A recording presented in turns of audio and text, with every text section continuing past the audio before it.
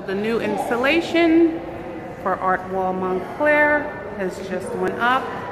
This work is from Peter. Tell me your last name, Peter. Spina. Peter Spina.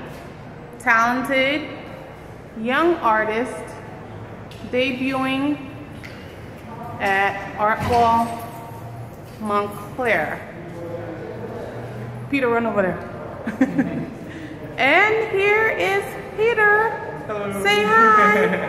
Hello. Do you want to tell anybody a little bit about your artwork, Peter? Yeah, most definitely. So, uh, so all the paintings you see here are actually uh, painted using repurposed uh, automotive paint. So, I actually am in the automotive business, and I have a passion for art, passion for painting vehicles, and I combine the two. So, I take uh, waste paint from the shop, and I create uh, create artwork on these panels that you see here.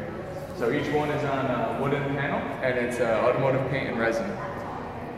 Great. Thank you, Peter, and welcome to Art Wall Montclair. Thank you so much. Opening reception coming soon.